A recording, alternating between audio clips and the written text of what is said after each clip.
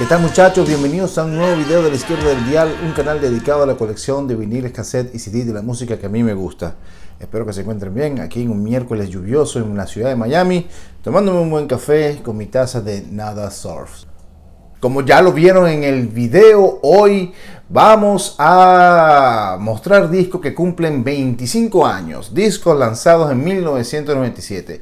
1997 es uno de mis años favoritos, pasaron muchas cosas en mi vida compré muchos discos y bueno, quiero mostrárselos aquí. Es bueno celebrar 25 eh, primaveras, como dicen. Así que vamos a lo que vinimos, a mostrar discos. Eh, son más de 20 discos, o sea que no voy a hablar mucho, los voy a ir mostrando, una pequeña anécdota, qué sé yo, para que el video no sea tan largo. Para este video quise mostrar los discos en forma de que fueron en los meses que fueron saliendo, eh, desde enero hasta diciembre. Eh, ya les voy a ir contando, me, metí en Wikipedia y ahí están ordenados. Así que, dale, comenzamos. En 1997 salió el disco debut de la banda Daft Punk Homework de su tema eh, que se hizo muy famoso en MTV Around the World. Eh, mi tema favorito aquí es Teachers, me parece genial este tema, pero todo el disco es, ¿cómo decirles? innovador. ellos habían preparado este disco para 1997 eh, sacar viniles y solo sacaron 50 mil discos en CD, pero vieron que rompió récords y tuvieron la disquera dijo, no, mijo, olvídense los viniles, vamos a sacar discos porque es lo que están pidiendo. Así que 25 años Daft Punk Homework. En febrero nace esta joya de Blur, autotitulado Blur, pero yo le digo el disco amarillo. Muchas eh, canciones aquí, sobre todo Son 2, himno de, de los 90 en 1997 con, rompieron con Bone, un video que eh, en Bravo TV, un canal que era como un NTV de Venezuela, sonaba y sonaba y sonaba. A mí me encanta este disco. Eh, creo que entre la discografía de los 90 hasta este disco creo que, que me gusta bastante Blur. 1997, eh, Blur, el disco amarillo. En febrero, Live lanza Secret Samadhi. Después de su éxito de eh, Throwing Cooper lanzan eh, este disco. Letras profundas que hablan sobre el meditar y, sobre eh, el universo y todas esas cosas este, esotéricas que tenía en ese momento el cantante Ed Kowalski. Live 1997, mi canción favorita aquí son Grace y Freaks. Pero todo este disco es una belleza. Yo me lo vacilo completo. Así que Live Secret Samari 1997 según la crítica, el peor disco de 1997, pero para mí, yo me lo vacilo mucho, es el Mercy Playground. Mercy Playground. Eh, aquí sonó bastante el tema Sex and Candy, en TV rotó ese video demasiado. A mí todavía me gustó este disco, mucha gente no le gusta, pero bueno. Mercy Playground con Sex and Candy. Y también tiene otro tema super cool que se llama Saint Joe on the School Bus. Muy bueno este disco, a mí me gusta. Casi todo va a ser eh, CD porque son los CD que, tenía yo en, eh, allá en Venezuela y uno que he comprado aquí, pero ya se lo estaré mostrando. Otro disco en 1997 que como dirían eh, otros canales de música que han hecho ese reto que discos 10 de 10 o discos que escucho por completo, este para mí es un disco 10 de 10 que escucho por completo, es el Benfold 5, Whatever and Ever Amen, em, el segundo disco de la banda de Boston. Em, es un disco yo le digo como un Elton John eh, con distorsión.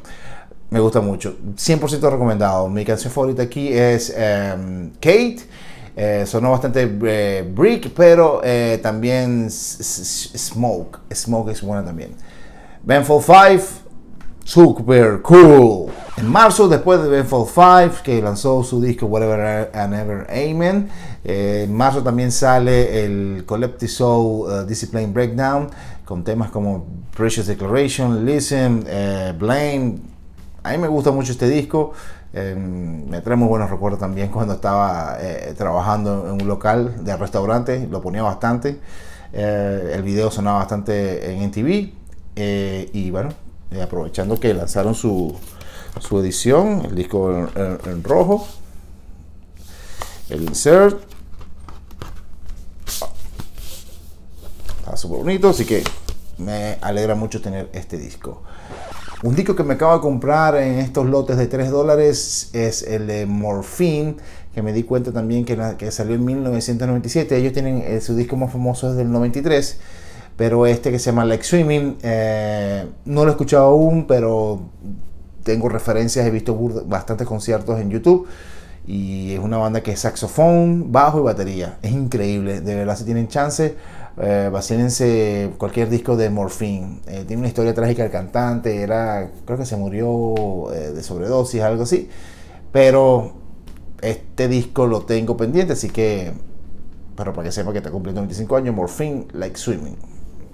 En marzo nace este disco que es como que odiado por los fans, no sé, que me puedan decir los fanáticos de YouTube pero a mí me gusta mucho este disco. Cuando salió Discotech, eh, me gustaba bastante. No sé qué dicen los fans, creo que son los fans, creo que son, dicen no les gusta mucho, pero nada, tiene buenos temas como Discotech, eh, Miami, tiene también el tema Please, que es súper bonito, eh, Standing at the Sun. A mí me parece un buen disco.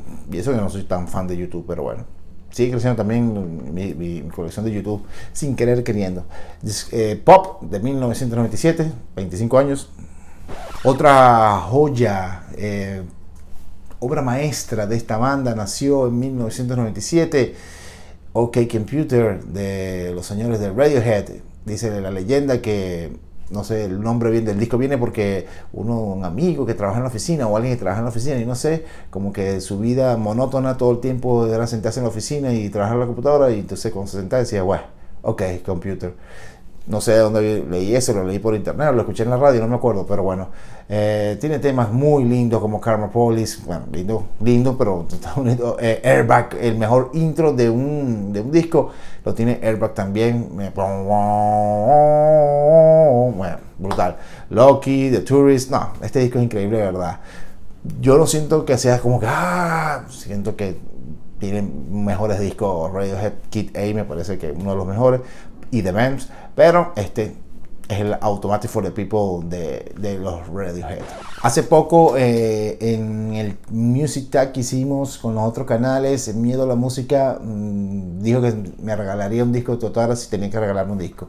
Yo ese disco que tiene él lo he buscado como loco, pero el universo eh, yo le pedí y él me dio y me trajo fue el primer disco de Totara, el proyecto de uno de los integrantes de Screaming Tree y Peter Buck de R.E.M., un disco instrumental eh, todavía no lo he escuchado bien. Eh, he escuchado el que me mostró Miedo a la Música, eh, pero nada, es un disco como experimental.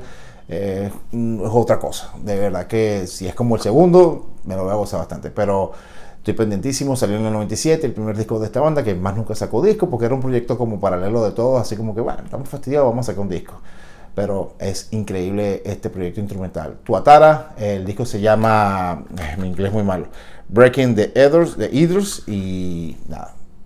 Otro disco que compré hace poco y casualidad que también es de salió en el 97, está cumpliendo 25 años, es Los Señores de Supergrass con el disco In It for the Money. Em, no lo he escuchado tampoco, he escuchado al Shoot Coco, eh, me gusta, que creo que es del 95, pero este no, no, lo he escuchado mucho. Pero bueno, quería mostrarlo, que hace 25 años salió este disco y esta portada siempre la veía en la discotienda y yo decía, Mm, me llama la atención, me llama la atención, pero nunca me atreví.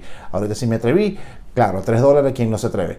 Bueno, aquí lo tengo en mis manos. Ya les contaré después cómo es este disco, pero eh, está cumpliendo 25 años el em, disco de Supergrass. También nace el segundo álbum de los Foo Fighters, The Color and the Shape, famosísimo. También diría yo que es como la obra maestra de ellos, no lo sé pero muy famoso por tener una de las mejores canciones de los Foo Fighters que es Everlong. Pero para mí también está Ferrari Stars, eh, Monkey Ranch, Hey Johnny Park es brutal. Pero bueno, este disco nació en 1997, eh, producido por Gene North, The Color and the Shape.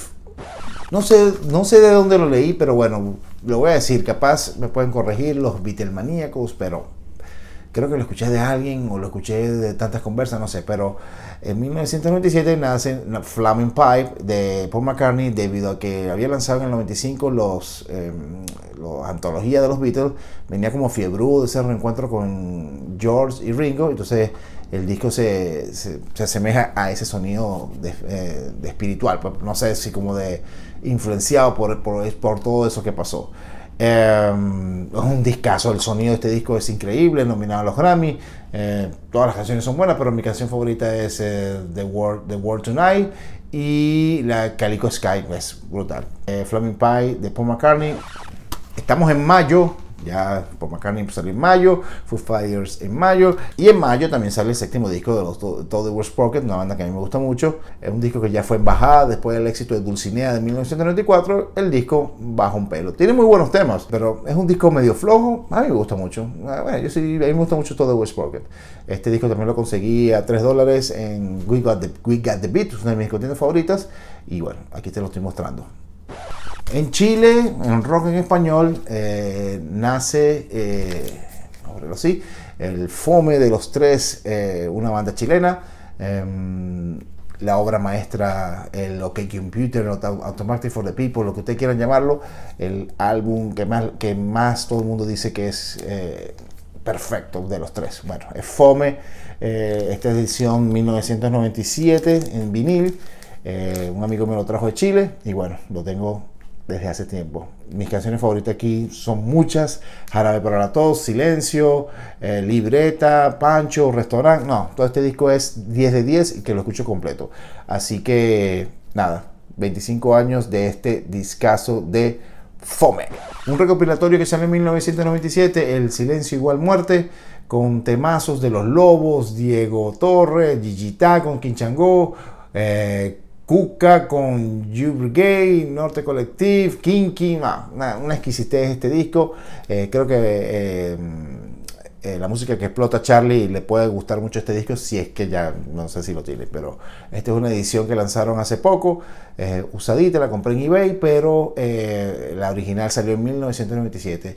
Aquí Café Tacuba también toca con David Byrne un discazo. Eh, me gusta mucho Silencio Igual Muerte. Este salió en julio. Esto salió en julio de 1997. Silencio Igual Muerte. Para mostrar en cassette, yo lo tengo en CD, pero el eh, Fujimon de Smash Mouth, una banda de California que mezclaba ska punk, eh, rocksteady, punk, a mí me gustaba mucho, el tema Walking on the Sun sonó mucho y es un tema emblemático en la banda. En 1997 sonó A Más No Poder. Fujimon, que es el nombre de un villano del, inter, del Internet verdadero de las Bispón Verde, bueno, le pusieron el nombre del disco.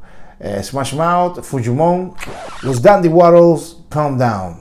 El disco se llama The Dandy Waddles Calm Down, pero estos son los Dandy Waddles. Eh, tenía, tenía mucho, mucho estaba en la mira este disco, lo estaba buscando, lo conseguí. Es de 1997 también. Este, el único tema que he escuchado aquí es Not If You Were The Last Junkie on the Earth. Eh, la tecladista, esa, esa, esa, actitud medio Darcy de los Smashing Punky. Eh, no he escuchado el disco, súper pendiente de escucharlo, eh, pero siempre lo, desde, desde, que salió ese video lo he querido tener el disco. nada, de Dandy Warhols Calm Down de 1997. Ya les contaré después cómo, qué tal este disco. Nace el proyecto de Chris Novaceli con una venezolana llamada Iva Las Vegas, eh, llamado Sweet 75. Esto es una rareza, este lo conseguí en, en eBay. Si les, interesa, está por ahí, barato. No, no, o sea, es una rareza en el sentido que casi no es tan famoso. Pero lo más seguro es que lo lancen un vinil y se vuelva carísimo. Pero lo interesante aquí, rapidito, es que hay un estilo de música venezolana llamada polo margariteño, que es donde yo soy. Y lo interesante es que Iba Las Vegas, como venezolana, eh, hace como un polo margariteño con, con Chris Novacelli e invitan a Peter Bock a tocar la mandolina. Y ese estilo es con mandolina. No sé cómo explicarle, es increíble. Eh, si tienen chance, el tema se llama Cantos de Pilón. Es música folclórica venezolana tocada por Peter Bock, Chris Novaceli y esta señora. De verdad, no tiene desperdicio este disco. Eh, Sweet 75 de Ivo Las Vegas, Chris Novaceli, 1997. Este fin de semana tocaron en Western Beach, no pude ir a verlo, me confundí de fecha, pensé que era este fin y no, resulta que ya pasó, bueno, me los perdí, menos mal que lo compré en la entrada, porque si no me hubiese puesto a llorar. Eh, Incubus eh, lanza Science, eh, un disco que no me acordaba que lo escuché mucho en su época. Salió en el 97, yo lo escuché demasiado con un cassette grabado que me prestó un amigo y de verdad que este disco es bueno. más new metal, más pesado, metal pesado, pero después fueron cambiando el estilo. Pero tiene muy buenas canciones. Todo el disco es súper innovador para su época. El new metal estaba muy de moda en Venezuela. Y bueno, pues ellos eran como los más diferentes. A mí me gusta mucho este disco. Ya tengo, lo, tengo la, la discografía, ah, la trilogía que es este Make Yourself y Morning View. 1997, Science de Incubus. Y bueno, un disco que me regalaron hace mucho, mucho tiempo y yo no soy muy fan del estilo, como dije, pero por lo que la persona me lo regaló, le agarré cariño, después lo dejé en Caracas y después eh, no sé qué se hizo, pero por fin lo conseguí. Es el Deftone eh, Around the Four, una banda que mezcla new metal, medio emo, no, eh, no, sé. Para esa época estaba empezando, como digo, como pasó con Science. Eh, de Incubus también estaban haciendo Deftones y influenció muchas bandas venezolanas. Yo, verdad, conecto con ellos en el sentido que me trae muy buenos recuerdos y eso es lo bueno de los discos, que a veces tú dices, bueno, no escucho ese estilo, no escucho salsa, pero esta canción me lleva a esa época y me parece genial. Fue un soundtrack bien bonito de, de, la época que, que lo tenía. Deftones, Around the, Around the Four, eh, New Metal, pero bueno, va, va a bien. Y cerrando octubre, otro disco que me gusta mucho de los Green Days, ya se ha hablado aquí. Es un disco que nació en 1997. El tema Good Riddance son los más no poder, pero esto, tiene un poco de temas buenísimos. Tiene bastantes temas buenísimos aquí este disco. Eh, uno de mis discos que más me gusta es Green Day, el Nimrod de 1997. Qué buen disco, de verdad que sí. Vacínense. Y bueno, esos fueron los discos que cumplieron 25 años que tengo en mi colección. Más de 20 discos. Eh, Feliz cumpleaños para todos ellos. Comenzar quisiera agradecer a las personas que han dejado su comentario en TikTok, me han estado preguntando sobre eh, los cassettes que estoy mostrando ahí, los discos, todo eso, eh, los comentarios que dejan en YouTube. Genial, me encanta interactuar con ustedes. Y me han preguntado también sobre el Twitch, ya el Twitch ya está abierto, eh, ya les avisaré cuando hacemos un live para ver videos de los discos que se muestra aquí. Y ya hice un live en TikTok eh, de prueba y me fue muy bien. Este, mucha gente eh, se conectó. Eh, pensé que no se iba a conectar nadie y se conectó bastante gente para, y puse un disco de Caifanes y estuvimos hablando ahí un rato con, un amigo. Estuvo muy cool. Entonces ya les estaré avisando cuando van a hacer esos live de, para, para poner discos tranquilos como si estuviésemos en casa escuchando discos. Bueno, tal cual así. Si te gustó este video, dale un like, suscríbete al canal. Eh, es totalmente gratis, eh, no te cuesta nada, nos ayuda a todos nosotros que creamos contenido por acá por YouTube. Se me cuida mucho, nos vemos en un próximo video y recuerden que la música nos salvará. Váyalo.